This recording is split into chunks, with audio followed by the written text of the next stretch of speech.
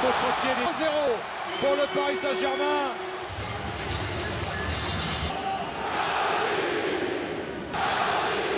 Et à noter le nouveau coup sur cette action qui joue bien dans la course.